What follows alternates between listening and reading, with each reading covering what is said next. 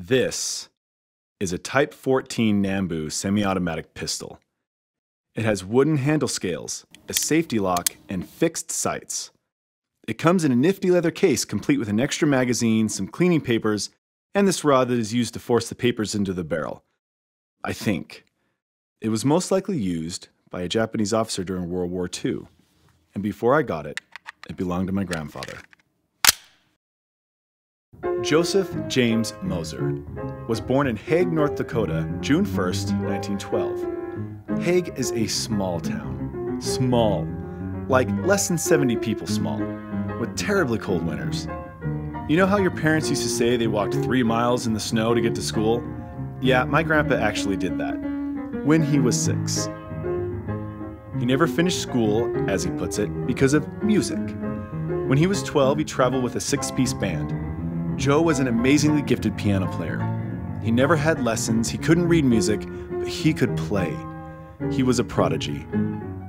Joe even played with the military band when he first enlisted in the United States Army. He was assigned to Echo Company, 383rd Infantry, 96th Division, nicknamed the Deadeyes. On April 1st, 1945, they landed in Okinawa, Japan, where he fought in the bloodiest battle of the Pacific War, what was known as the Typhoon of Steel.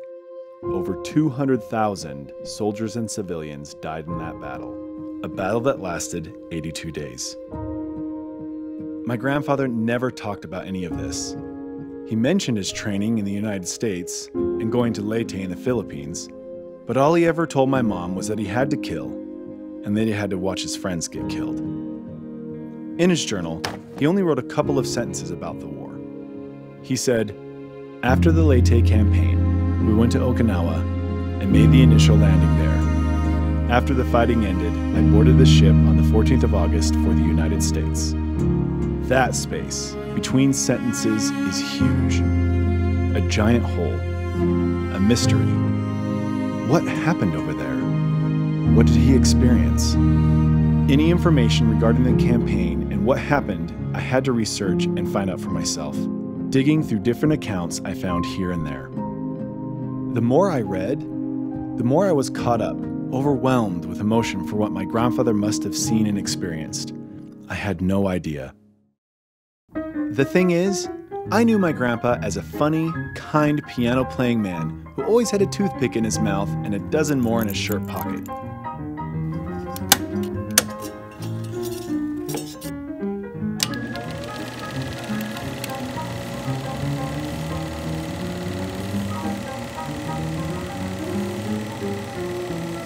Loved his family. He was married to the love of his life for over 50 years. He loved God and he loved his country. He loved learning and was often seen with an encyclopedia in his hands. He could fix anything and had an extensive array of tools and gadgets in his garage.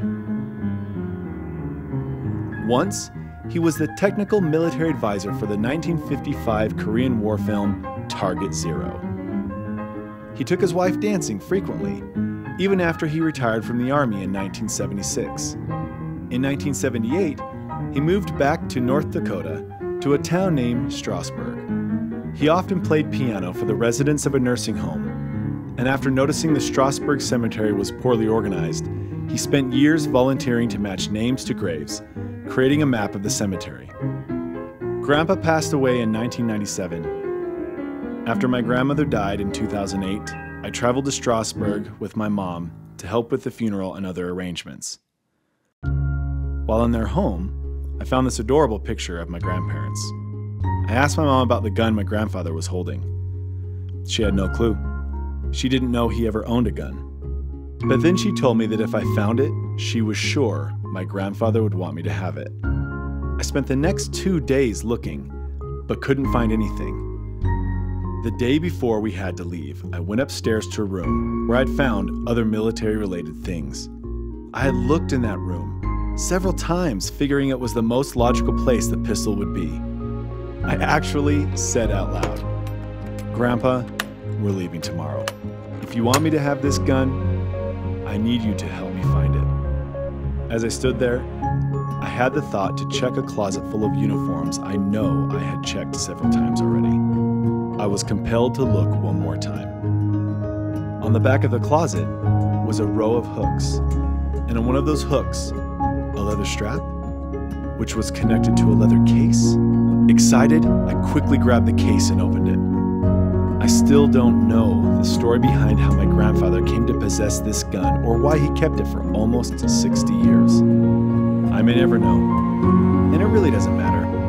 I found connection to him through it and the experience of finding it. I've gained a stronger relationship with him as I learned more about his life, what he experienced, and what was important to him. He was always so sweet to me. He made me laugh, made me feel good about myself.